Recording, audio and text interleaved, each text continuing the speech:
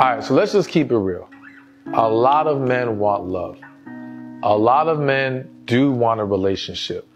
There may be a lot of negative perceptions on dating today and, and how women are and, and the, the, just the whole dynamic that's going on in a lot of modern relationships, modern dating, whatever you want to call it.